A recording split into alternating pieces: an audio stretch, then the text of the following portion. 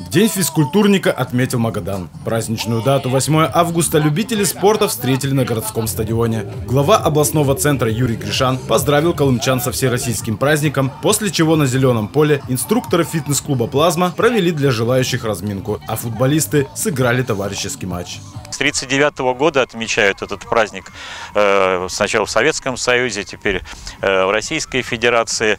Э, сегодня много соревнований всевозможных, показательных выступлений, прыжки парашютистов будут, бегуны, боксеры. Вот мы видим сегодня занятия здесь фитнес-группы на стадионе.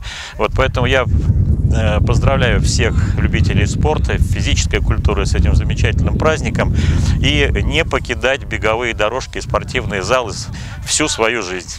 По официальной статистике регионального департамента физической культуры в городе популярны более 40 различных секций. Работают 28 федераций, около 40% всех колымчан систематически занимаются спортом. В Олимпийский резерв страны и в состав сборных команд Российской Федерации по сноуборду, прыжкам на лыжах с трамплина, боксу, пауэрлифтингу, киокусинкай и вольной борьбе входят 16 колымчан. Спортивные занятия в регионе ведут 179 тренеров. Ежегодно в областном центре возводят несколько спортивных объектов. Этот год не стал исключением. Сегодня в Магадане завершается строительство нового двухчашевого бассейна на Октябрьской, возводится физкультурно-оздоровительный комплекс «Президентский». Кроме того, для взрослых и детей в городе на постоянной основе проводят спортивно-ориентированные мероприятия для профессионалов, семей и любителей.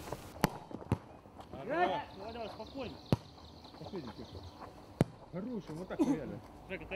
Да я понял, понял, ну что сделать? Uou!